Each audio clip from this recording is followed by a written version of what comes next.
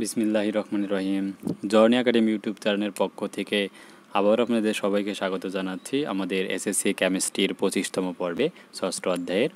তো এ পর্বে আলোচনা করব আমরা হচ্ছে তুতের ক্লাস পানির যে শতকরা পরিমাণ হিসাব করা।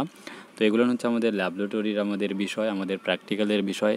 তাই আপনারা যদি কেউ আমাদের এই চব্বিশ পঁচিশতম পর্ব না দেখেন তবু আপনাদের কোনো সমস্যা হবে না। যেহেতু আমি বলেছিলাম, ধারাবাহিকভাবে পুরো বইটা আমি রিডিং টেস্ট সহ সব কিছু বুঝাই দেবো, সেই ধারাবাহিকতা আমি অংশটা বুঝাই দিচ্ছি।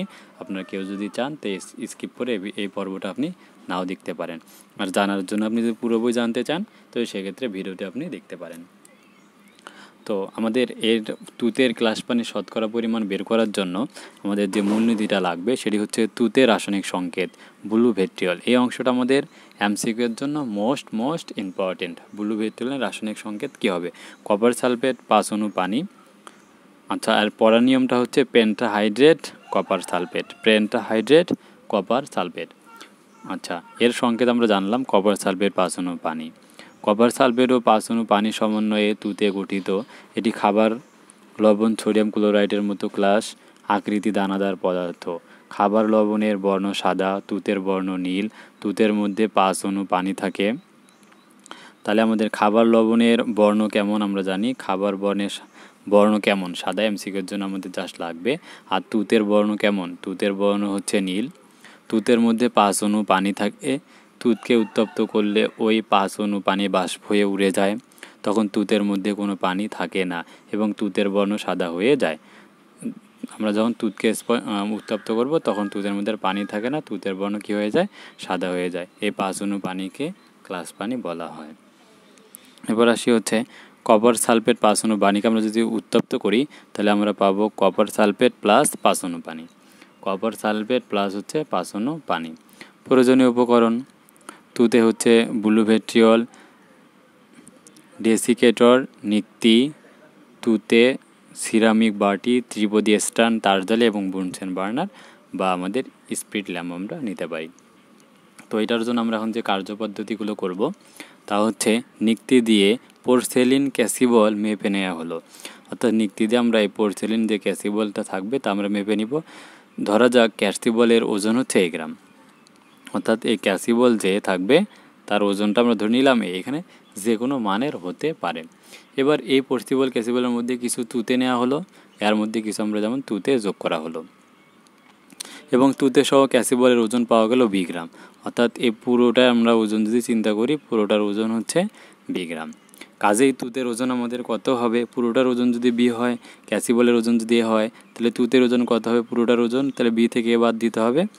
তাই আমরা তুতের ওজন পাওয়া গেল হচ্ছে বি মাইনাস এ এবার ত্রিপদী স্ট্যান্ডের উপর তারজালি স্থাপন করে তারজালির উপরে তুতে সহ ক্যাসিবল বুনছেলের বার্নার বা স্পিড ল্যাম্প দিয়ে তাপ দেওয়া হলো।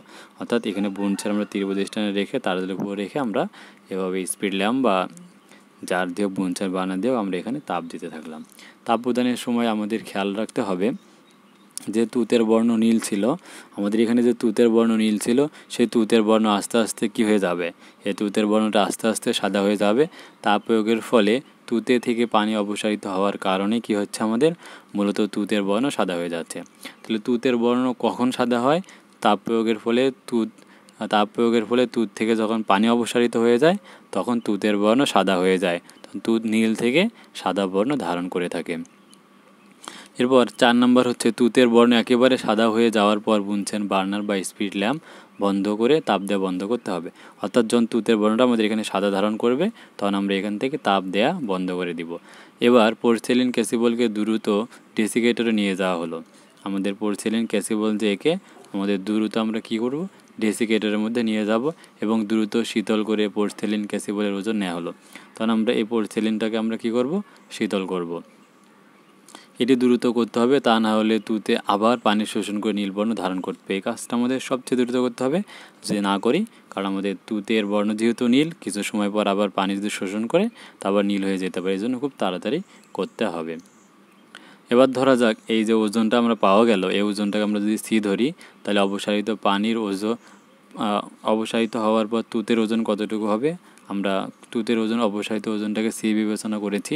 আর আগে আমাদের পরিচালনের মধ্যে যে ওজনটা ছিল এ, তার মানে শুধু তুতের ওজনটা কত হবে তখন? সি মাইনাস এ হবে। দুধ থেকে পানির পরিমাণ কতটুকু হবে? আগে আমাদের ছিল বি মাইনাস এ। তাহলে আমাদের বি মাইনাস এ থেকে আমাদের এই সি মাইনাস এটা বাদ দিতে হবে। তাহলে A cancel out B minus C আমরা হিসাব করব শতকরা পরিমাণ। তাহলে এত থেকে অবসারিত হয় বি মাইনাস সি একে কত? একশোয় কত? তাহলে একে কত একশো কত আমরা ঐকিক নিয়মে করলে আমাদের আসতে B minus C by B minus A গুণ হচ্ছে একশো মাইনাস একশো পার্সেন্ট। তো এটা হচ্ছে তুতির ক্লাস পানির যে শতকরা পরিমাণ বের করার, সেটা হচ্ছে আমাদের একটা হচ্ছে সূত্র। তো এই সূত্রের মাধ্যমে আমরা তুতির ক্লাস পানির যে কোনো মানটা আমরা বের করে অঙ্ক করতে পারব। তো এর জন্য আমাদের কিছু সতর্কতা অবলম্বন করতে হবে। পরীক্ষার সময় অবশ্যই প্র্যাকটিক্যাল যখন করব, আমাদের সতর্কতা মেনেই করতে হবে। সতর্কতাটা হলো পোর্সিলেন বাড়িতে তুতে উত্তপ্ত করার সময় ধীরে ধীরে এবং সমানভাবে তাপ দিতে হবে। তাপ তাপ দিয়ে পানি বাষ্পীভূত করার পর দ্রুত পোর্সিলেন তুতের ওজন নিতে হবে। কারণ দেরি করা যাবে না, কারণ তুত আমাদের দেরি হয়ে কি নীল বর্ণ ধারণ করতে পারে, তাই। তুতের ক্লাস পানি শতকর পরিমাণ হিসাবের জন্য এরূপ একটি পরীক্ষা কার্য সম্পন্ন করা। অর্থাৎ পরীক্ষার্থীরা আবার শিক্ষার্থীরা আবার দ্রুত করার জন্য তারা বাসায় আবার প্র্যাকটিস করে এরকম একটা কাজ করতে বলা হলো। তো এই হচ্ছে আমাদের এটি বোর্ড বইয়ের যে অংশটা ছিল আমাদের পঁচিশতম পর্বে। তুতির ক্লাসতম যে অংশটু ছিল, আমি আপনাদের সম্পূর্ণ অংশটা ডিটেলস ব্যাখ্যা করে দিলাম। তো এর পরবর্তী আমরা পর্ব যেটি করব, ছাব্বিশতম পর্ব। ছাব্বিশতম পর্বে আমি বোর্ড বইয়ের যে এখানে এমসিকিউ টাইপের আমাদের ছয়টি কোশ্চেন রয়েছে। তো আমি ছাব্বিশতম পর্বে, বোর্ড বইয়ের এই ছয়টি এমসিকিউ টাইপের কোশ্চেনটা ডিটেলস করব।